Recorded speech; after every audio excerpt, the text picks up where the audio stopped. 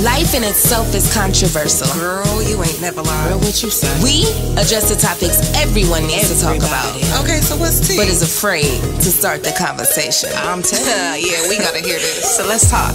Controversy.